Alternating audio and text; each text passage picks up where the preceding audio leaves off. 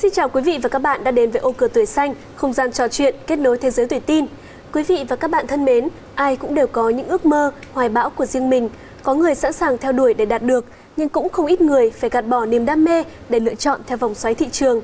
Trước những biến động xã hội không ngừng, câu hỏi trong chuyện chọn nghề vẫn luôn là chọn nghề bằng đam mê hay phù hợp với thị trường. Các bạn tin ngày nay phải lựa chọn như thế nào mới đúng đắn? Hãy cùng ô cửa tuổi xanh ngày hôm nay bàn luận về chủ đề này. Xin được giới thiệu bạn Phạm Huyền Mỹ, học sinh trường Trung học phổ thông chuyên Hạ Long. Em xin chào chị Nguyệt Ánh, em chào cô Sơn và em xin chào tất cả quý vị khán giả. Xin được giới thiệu chị Phạm Minh Sơn, chuyên gia khai vấn hướng nghiệp được chứng thực năng lực bởi mạng lưới nghề nghiệp Mỹ. Xin chào MC Nguyệt Ánh, xin chào bạn tin và xin chào quý vị khán giả đang xem chương trình.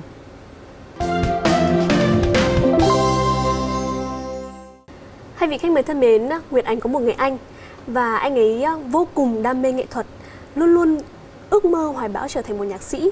Tuy nhiên thì anh ấy cũng rất là giỏi rất là giỏi tư duy và giỏi học toán. Ừ. nên là gia đình có định hướng để đi học sư phạm toán. Và từ lúc đấy thì anh ấy cũng có một cái suy nghĩ là nếu như mà mình theo cái đam mê của mình thì nó cũng rất là bấp bênh. Và thực sự là nhận thấy được cái năng lực của mình trong cái lĩnh vực nghệ thuật thì nó cũng không phải là quá nổi bật. Ừ. nên là anh ấy đã chọn cái hướng an toàn là theo gia đình để đi học sư phạm toán Tuy nhiên thì học đến năm thứ ba đại học thì anh ấy đã quyết định là bảo lưu và quay ừ. trở lại để thực hiện cái ước mơ làm nhạc sĩ của mình. Và đến bây giờ thì cũng ờ, một vài năm trôi qua rồi. Nhưng mà anh ấy cũng chưa có cái gì đấy quá là nổi bật trong cái lĩnh vực nghệ thuật ừ. nhưng mà vẫn luôn luôn miệt mài để mà theo đuổi cái đam mê của mình. Ừ. Thì hai vị khách mời nghĩ sao về cái câu chuyện này ạ? Thật ra thì ở dưới góc nhìn của em, em thực sự cảm thấy rất là ngưỡng mộ anh ấy vì là rất là ít ai có dũng khí để mà từ bỏ cái uh, những năm đại học của mình để theo đuổi cái đam mê thực sự ừ. và đối với em thì em cảm thấy là nếu như mà anh vẫn tiếp tục giữ cái nhiệt huyết của cái đam mê của anh ấy thì mặc dù nghệ thuật nó là một ngành không ổn định và nó thiên về sự sáng tạo nhiều hơn nhưng mà với cái sự nhiệt huyết đấy thì em nghĩ là chắc chắn anh ấy sẽ đạt được những cái thành tựu của riêng mình. Và đối với em thì ngay cả cái việc mà anh ấy đã được làm công việc anh ấy thích đó chúng cũng chính là một sự thành công trong định nghĩa của em ạ. Bạn tin của chúng ta thì có một cái nhìn rất là ngưỡng mộ. Còn à, chị Sơn thì sao ạ? Thì uh, từ câu chuyện của Nguyệt Ánh thì mình thấy được rằng là bạn uh, cái người anh của Nguyệt Ánh ấy bản thân bạn ấy không hiểu bản thân bạn ấy muốn gì và mong muốn trở thành một ai khi mà quyết định học tập hay là định hướng nghề nghiệp trong tương lai.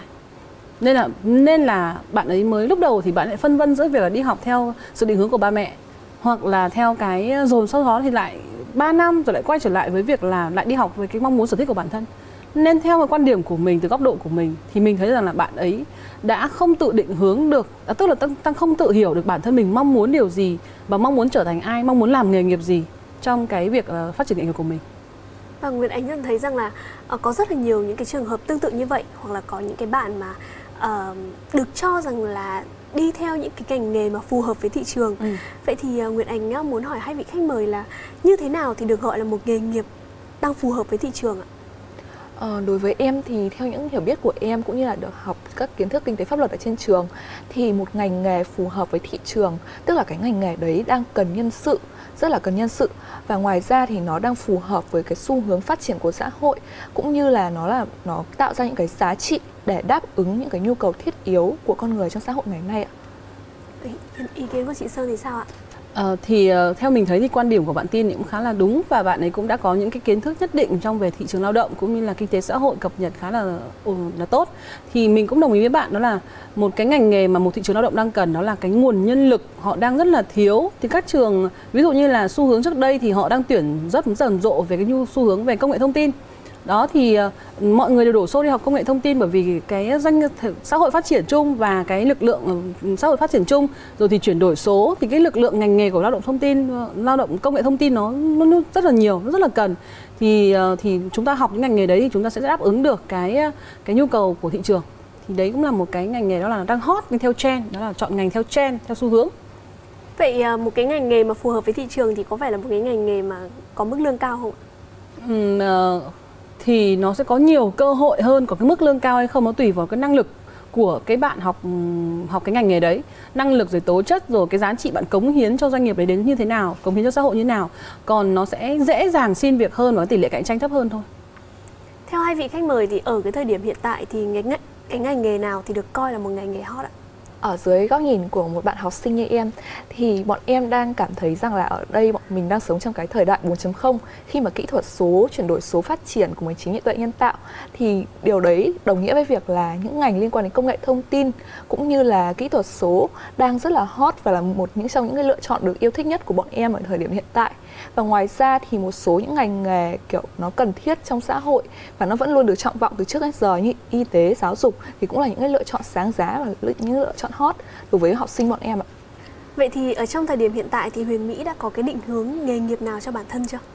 Thật ra thì tất cả những cái ngành nghề mà theo xu hướng em vừa mới kể ra em không có lựa chọn một trong những cái ngành nghề đấy ừ. thì em đang hướng tới em muốn chọn một cái ngành nghề mà em cảm thấy nó phù hợp với năng lực cũng như là cái sở thích của em đó chính ừ. là làm về truyền thông tuy nhiên thì em cũng đang băn khoăn là không biết liệu em sẽ phù hợp với mảng nào trong truyền thông và em nghĩ em vẫn đang còn trong quá trình tìm hiểu để lựa chọn ạ À, đấy là em cái cách lựa chọn của bạn ấy đó là lựa chọn nghề dựa trên cái sở thích đam mê của bạn đấy. Đấy cũng là một trong những cách lựa chọn nghề nghiệp đấy uh, các bạn ạ. Vậy thì theo chị Sơn thì ở thời điểm hiện tại thì cái ngành nghề nào đang là ngành nghề hot ạ? Uh, ở thời điểm hiện tại thì đối với cái việc đó là khi mà trí tuệ nhân tạo phát triển như thế này cũng như là cái tự động hóa phát triển thì cái ngành nghề hot hiện nay thì nó vẫn là ngành nghề công nghệ thông tin, lập trình viên đối với thời điểm hiện tại năm 2023 này nhé. Thì xin, xin nhắc lại đó năm 2023 còn nếu mà trong tương lai thì lại không phải là hot nữa. Uh, những cái ngành nghề liên quan đến công nghệ sinh học những ngành nghề liên quan đến ờ, dữ liệu lớn big data hay là trí tuệ nhân tạo hay machine learning là máy học thì đấy là những cái ngành nghề mà nó phục vụ cho việc chuyển đổi số những số hóa dữ liệu uh, thì nó sẽ hot. Đấy là về khối uh, công nghệ. Còn những cái ngành nghề như uh, tâm lý học cũng đang là một ngành nghề rất là phát triển bởi vì xã hội ngày càng phát triển thì con người càng gặp vào các vấn đề. Thì ngành nghề liên quan đến cảm xúc sức khỏe tinh thần sức khỏe nội tâm sức khỏe cảm tâm lý nó lại là phát triển hay những ngành nghề liên quan đến uh, uh, công nghệ sinh học phát triển về nông nghiệp xanh sạch tái tạo môi trường năng lượng tái tạo thì đấy là những cái ngành nghề đang hot hiện nay Vậy nếu như mà theo những cái ngành nghề mà nó đang hot trên thị trường, theo xu hướng thị trường thì các bạn trẻ sẽ nhận được những điều gì ạ?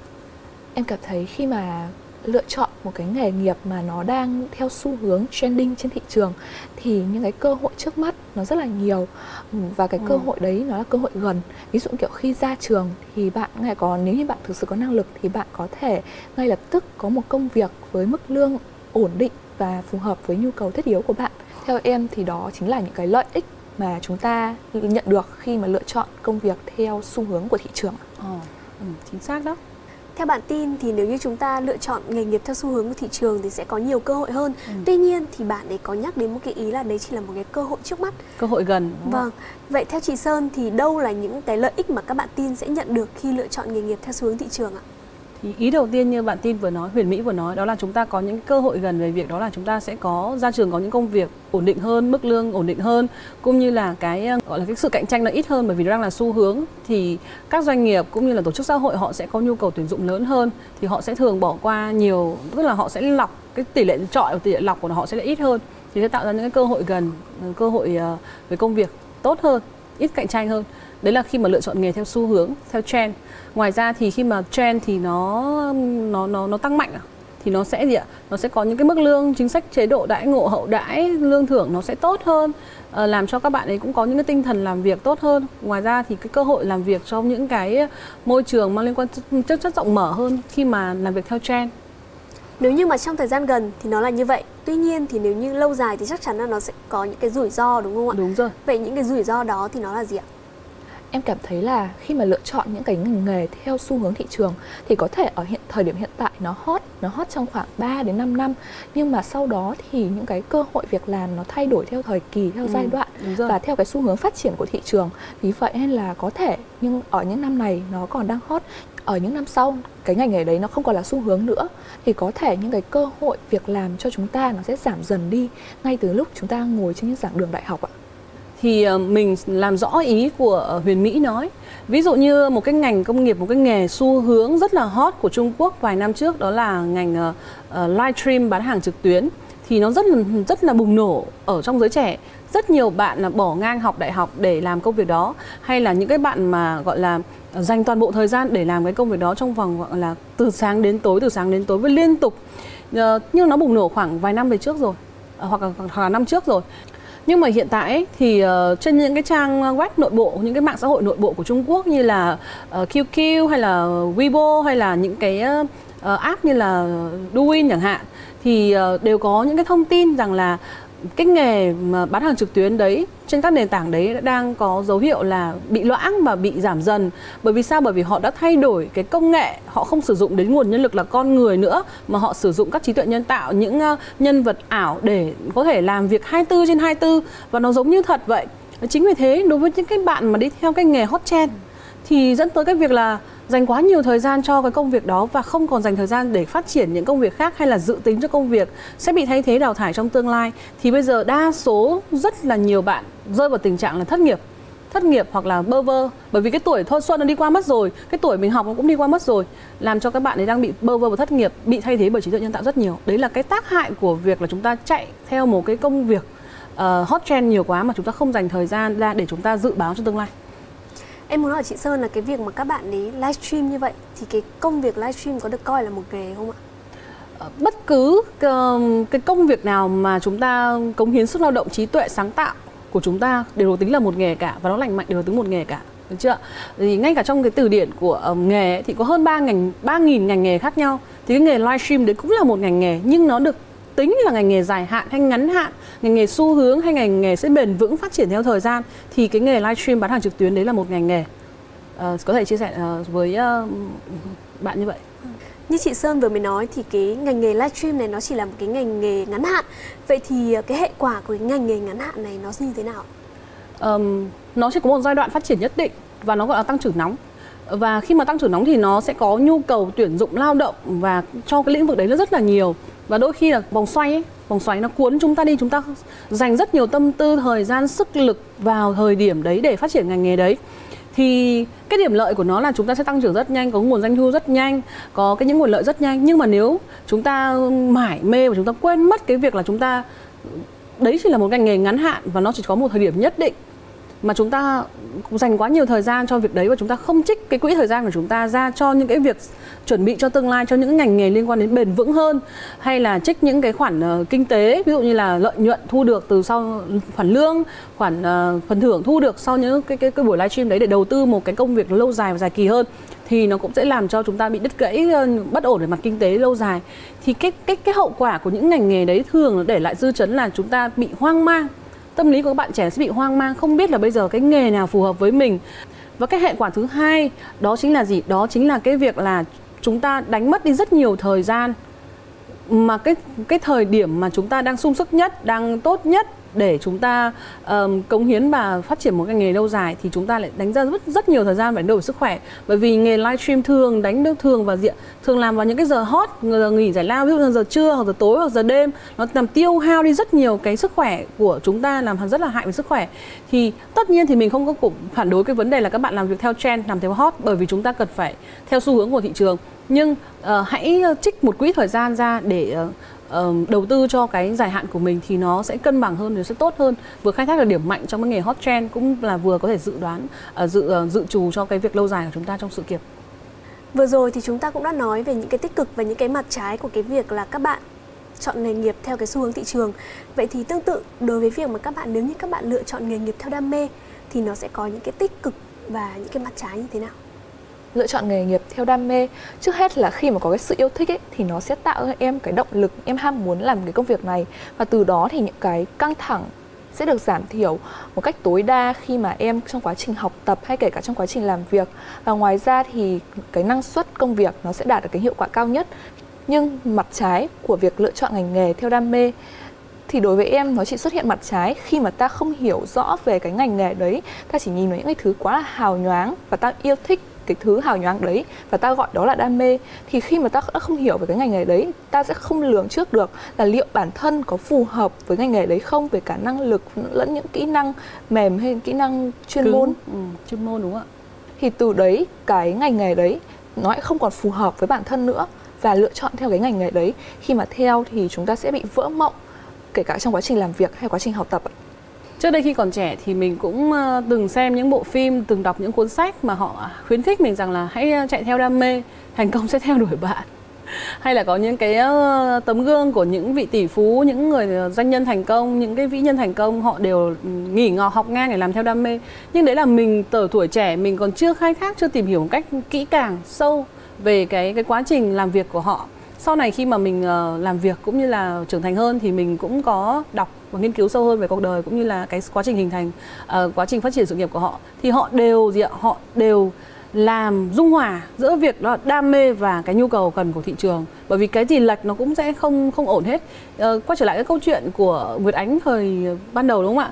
Bạn ấy thích nghệ thuật và bạn ấy theo đi yếu tố nghệ thuật. Nhưng mà rồi bạn ấy lại không biết mình cần gì muốn gì và bạn ấy theo cái sự định hướng của ba mẹ để chọn một cái sự an toàn đó là đi học về uh, toán học hay gì đó vâng. đúng không ạ? Nhưng học đến năm ba thì bạn ấy lại không là không thỏa mãn được cái sở thích mong muốn của bạn ấy thì bạn ấy lại quay lại. Nhưng nó lại vẫn nhàng nhàng nhàng nhàng nhàng. Thì cái quay trở lại vấn đề là khi đấy là một cái điều rất là hay gặp phải ở những bạn trẻ.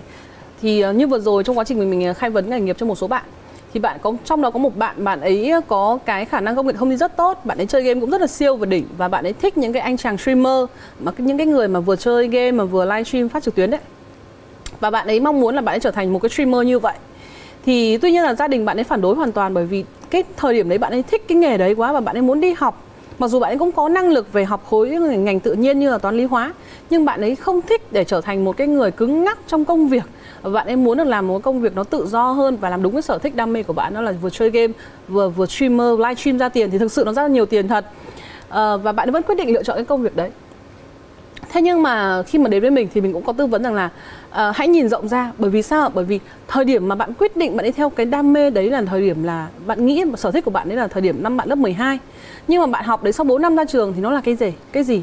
Uh, và mình lấy ví dụ một cái uh, một cái case study rất nổi tiếng của một cái anh chàng streamer cũng nổi tiếng. Uh, không kém uh, trước đây là một hot gọi là một gọi là hot idol hot KOL về trong lĩnh vực streamer đó là bạn Pew Pew chẳng hạn thì lúc đầu thì bạn ấy rất hot, trong một thời gian rất là hot. Nhưng mà sau rồi khi mà cái nghề này nó cạnh tranh, cũng như là cái sức khỏe bạn đi xuống, thì bạn ấy cũng phải bắt buộc bạn vẫn phải chuyển nghề. Thì bây giờ bạn ấy quay sang là bạn ấy mở một quán bánh mì hay là kinh doanh với mặt hàng khác. Và bây giờ bạn ấy cũng vẫn là ừ, stream, nhưng mà là live stream bán hàng đồ gia dụng. Thì tất nhiên thì vẫn có kiếm thêm thu nhập thôi. Thế nhưng mà ờ, và kinh tế cũng ổn định thôi. Nhưng mà bạn ấy không còn làm cái nghề streamer, làm game nữa.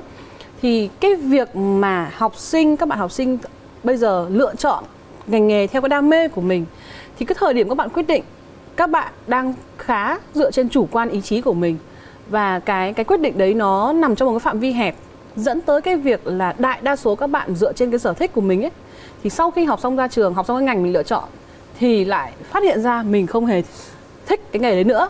Mình không hề uh, gọi giống như em nói là mình bị vỡ mộng bởi vì cái ngành nghề mà mình đã lựa chọn hoặc là xu thế thị trường họ không cần cần ngành ấy nữa uh, như mình cũng chẳng hạn mình ngày xưa thì mình cũng không hề thích ngành tài chính ngân hàng một xíu nào. Và và mình ờ, thời điểm đấy mình lên mạng không có ai định hướng nghề nghiệp cho mình hết và mình cũng lên mạng mình cũng search là nghề nào hot nhất hiện nay. Thì thời điểm đấy mình nhớ là mình 208 thì trên mạng nó còn top 5 ngành nghề hot nhất hiện nay thì ngành tài chính ngân hàng ngành hot nhất. Thế nhưng mà hồi đấy mình đâu có đủ kiến thức để mình tìm hiểu về vấn đề là à khủng hoảng kinh tế, suy thoái kinh tế, nhân sự ngân hàng bị sa thải đâu. Thì đúng giai đoạn 2007, 2008 thì sao kinh tế đang khủng hoảng và họ họ họ các ngân hàng họ có giảm thiểu nhu cầu tuyển dụng. Nhưng mình học xong ra trường 2012 và ngân hàng không có nhu cầu tuyển dụng thì dẫn tới việc là tỷ lệ chọn rất là cao đồng thời là nhân, dư thừa rất nhiều nguồn nhân lực thì quay trở lại cái vấn đề đó là mình không hề thích làm ngân hàng một xíu nào. Mình chỉ thích là à mình thích được mặc vest, thích được làm những công việc công việc ở nơi chuyên nghiệp, thích ờ, oách thích oai thời điểm đấy, và vô tình là mình học cũng rất là bị lệch nghề. Đến cũng không hề. Nên là cái đam mê thời điểm đấy của các bạn nó vẫn đang dựa trên chủ quan. Và đa số thì đều là lệch lệch nghề.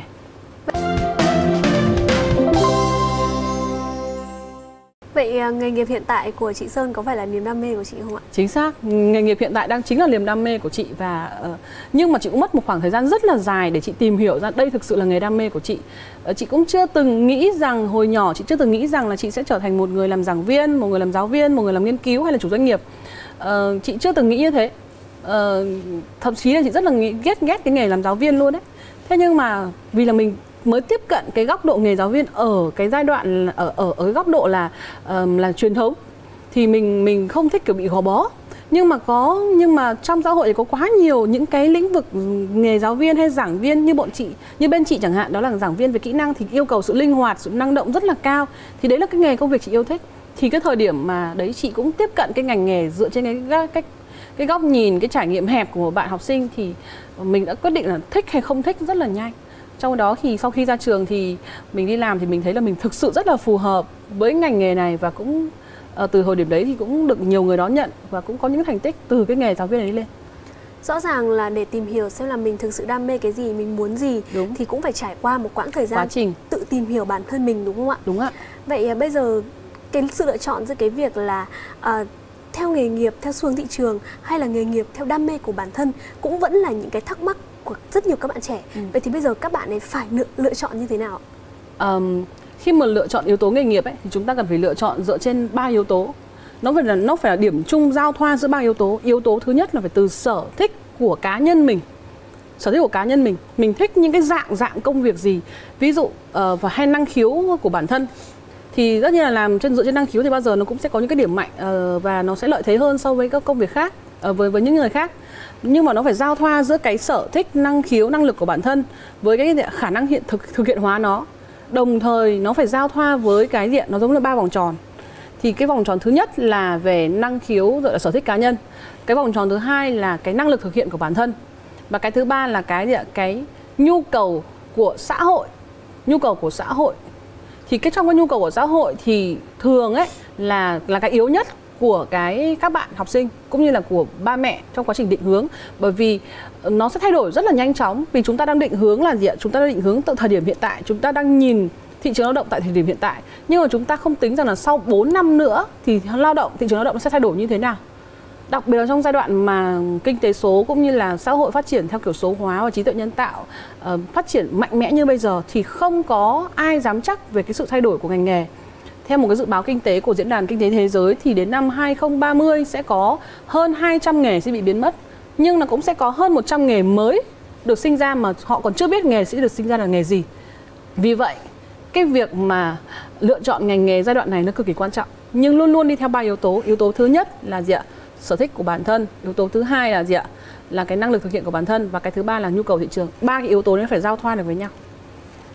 Tuy nhiên thì ờ, Nguyễn Ánh nhận thấy rằng là có một số trường hợp như thế này Tức là có một số bạn, các bạn ấy đam mê một ngành nghề Tuy nhiên thì cái khả năng, cái năng lực của các bạn trong ngành nghề đấy nó ở mức độ vừa phải ừ.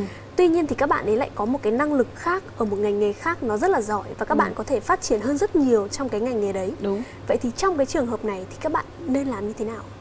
Vậy thì theo em, em nghĩ là chúng ta nên đẩy cái yếu tố phù hợp lên đầu tiên. Và nếu như mà bạn ấy có cái năng lực cao trong cái ngành nghề đấy thì em vẫn nghĩ bạn nên ưu tiên lựa chọn cái ngành nghề đấy ạ.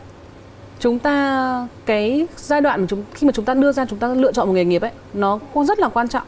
Nó quan trọng giống như việc là chúng ta đang định hình một cái lần sinh ra thứ hai nhưng cái việc là lựa chọn giữa cái năng lực thực hiện của mình trong công việc đấy hay là cái đam mê của mình cái sở thích của mình một cái công việc đấy thì nó cũng rất là hay mâu thuẫn. Nếu là mình và trong nền kinh tế thị trường như hiện tại khi các bạn đang phải uh, gọi là uh, sinh tồn và phát triển bản thân thì cái việc là gì ạ? Chúng ta hãy dành thời gian chúng ta phân bổ thời gian là 50% hoặc là 70% chúng ta dành cho những công việc mà chúng ta phải làm để chúng ta phát triển trong tương lai để chúng ta phải nuôi sống bản thân đã chúng có thực mới vực được đạo đúng không ạ? Chúng ta phải nuôi sống được bản thân đã. Uh, chúng ta phải ép mình chúng ta làm những công việc đấy đã để chúng ta mưu sinh được chúng ta sinh sinh tồn được đã. Bởi vì nếu mà không thì chúng ta cũng không thể uh, sử dụng sự chu cấp của ba mẹ mãi được đúng không ạ? Nhưng hãy dành 30% còn lại cái 30% còn lại thường rơi vào buổi tối 8 tiếng đi làm. Được chưa 8 tiếng đi làm giờ hành chính các bạn làm một công việc mà các bạn có năng lực thực hiện. Còn 8 tiếng buổi tối ở nhà bạn hãy dành ra 3 4 tiếng để các bạn học và phát triển cái sở thích đam mê của bạn đến một cái trình độ nhất định mà bạn tự tin ừ, bạn có thể sống được với cái đam mê đấy. Thì bạn hãy rời bỏ cái công việc ờ, ừ, uh, 8 tiếng giờ hành chính để theo cái dễ theo đam mê. Chứ không phải là mình phải chọn mình phải uh, gọi là mình phải quyết định bỏ ngay từ đầu. Vì vậy là lựa chọn cái gì cũng không quan trọng lắm. Quan trọng rằng là gì ạ? Mình phải sống đã mình phải sinh tồn đã sau đó thì mình hãy theo đam mê từ đầu chương trình đến giờ thì cô Sơn có chia sẻ với em rất nhiều những cái thông tin bổ ích ừ. và em có thể thấy một góc nhìn tổng quan là kể cả đam mê hay là xu hướng thị trường cũng rất là quan trọng ừ. hay là học sinh chúng em rất là muốn biết là làm thế nào mà có thể chọn được công việc vừa đảm bảo yếu tố đam mê mà cũng vừa đảm bảo yếu tố phù hợp với xu hướng thị trường thì cô có thể cho chúng em một câu trả lời được không ạ? Đầu tiên cần phải biết mình ở đâu, mình có cái gì. Cái thứ hai là mình biết 3 năm nữa, 5 năm nữa mình muốn trở thành ai như thế nào, công việc ra sao. Và mình cần phải biết cái khoảng giữa từng cái cầu nối, từng cái bậc thang để nối tới cái đích mình tới ấy. Nó gồm có những gì? Kiến thức, kỹ năng, kinh nghiệm, trải nghiệm, sự thay thế, sự biến mất. Thì mình học cái gì nó gì ạ? Nó theo trend. Thì vừa thỏa mãn được cái yếu tố đam mê của mình muốn, vừa thỏa mãn được cái yếu tố là trend nó cần như thế nào. Đó. Và mình xin tổng kết lại là không có ngọn chọn nghề 100% đúng nhá không có nghề 100% đúng, đặc biệt là trong cái nghề Việt Nam là vỏ nghề và duyệt nghề nó hoàn toàn khác nhau. Đó, nhưng nó sẽ luôn luôn đúng nếu mà chúng ta cảm thấy chúng ta mong muốn trở thành ai đó. Ví dụ em mong muốn trở thành chủ doanh nghiệp thì trong ngành nghề truyền thông nó khác nhau hoàn toàn. Đó, thì đấy là quyết định là là mình phải biết những yếu tố từng bước từng bước như vậy thì, và luôn luôn trong trạng thái luôn luôn cập nhật thông tin, cập nhật thông tin, luôn luôn là mới, luôn luôn là học. Tuy nhiên thì ờ, người đánh nhận thấy rằng là có một số cái ý kiến cho rằng là uh, nghề chọn người trước người thì không chọn nghề. Vậy thì có phải chăng là ở một cái giai đoạn nào đấy trong cuộc đời khi mà chúng ta đã có những cái kỹ năng đầy đủ rồi thì cái công việc nó sẽ tự đến với chúng ta hay không ạ? Ừ, khi mà Nguyệt Ánh nói điều này ấy, thì mình nhớ đến một câu một dân tin hay nói là thành bại tại kỹ năng.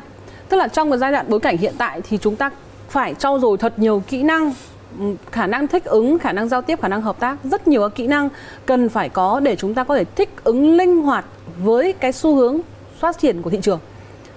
Chính vì thế, cái câu đấy có thể là giải thích cho ý của anh đó là mình càng trau dồi nhiều kiến thức, nhiều kỹ năng thì chúng ta càng có nâng cao khả năng thích ứng của mình. Nên khi một cái nghề nghiệp hay một cái cơ hội công việc đến tới với mình, thì mình không nhất thiết là cứ phải sẵn sàng 100% already cho nó thì chúng ta mới làm cái nghề đấy, mà đôi khi chỉ là 70 80% còn lại là chúng ta sẽ học hỏi tiếp tục trong quá trình chúng ta làm vừa làm vừa học bởi vì uh, chúng ta có thể làm um, có rất nhiều cách để học hỏi mà. Tuy nhiên là cái nền tảng của chúng ta đã có sẵn rồi những kỹ năng được học được bài bản theo cái gọi là theo bậc thang nó có nền tảng sẵn rồi thì khi mà có một cái cơ hội mới tới tới chúng ta chúng ta hoàn toàn có thể là chớp lấy nó dùng cái những kỹ năng của chúng ta có để thích nghi cùng với nó. Nên trong giai đoạn hiện tại là học kỹ năng trau dồi kỹ năng như là kỹ năng giao tiếp hợp tác uh, kỹ năng tư duy sáng tạo phản biện kỹ gọi là siêu kỹ năng một bộ siêu kỹ năng đấy thì chúng ta cần phải có những cái bộ kỹ năng đấy đi. Thì chúng ta sẽ luôn luôn dễ dàng thích ứng hoặc là linh hoạt hay là cũng có thể là dễ dàng vượt qua những cái thử thách khi mà có một nghề nghiệp mới xuất hiện. Quý vị và các bạn thân mến, không nhất thiết phải tìm ra xu hướng nghề nghiệp trong tương lai hay tìm ra công việc mà mình đam mê ngay lập tức. Hãy trân trọng những gì mình đang làm ở hiện tại và liên tục học hỏi, nâng cao kỹ năng, nâng cao khả năng thích ứng của bản thân. Chúc các bạn sẽ tìm được công việc như ý để phát huy được tối đa năng lực của bản thân trong bất cứ xu hướng nào xuất hiện trong tương lai. Đến đây thì thời lượng của chương trình cũng đã hết. Xin chào và hẹn gặp lại các bạn trong những chương trình lần sau. Bạn và tôi đôi khi có những lúc hay hờn dỗi và đôi khi có những lúc bạn cùng tôi sẽ chia vui buồn để cho những ngày bên nhau thắm tươi. Rồi ngày mai, khi con tim của tôi đã rực sáng là lúc tôi biết có bạn cùng tôi sánh vai trên đường đời, cùng nhau ta vững bước tới tương lai. Dù khó khăn đổi thay tôi vẫn luôn tin rằng chỉ cần có tình yêu chân thành nắm tay vượt qua bao nhiêu gian khó.